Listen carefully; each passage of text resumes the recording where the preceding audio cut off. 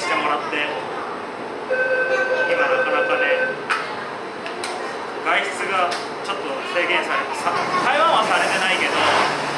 なんか台湾に今日本の人が来れないからその間の記録をこのフィルムカメラで撮りたいと思います。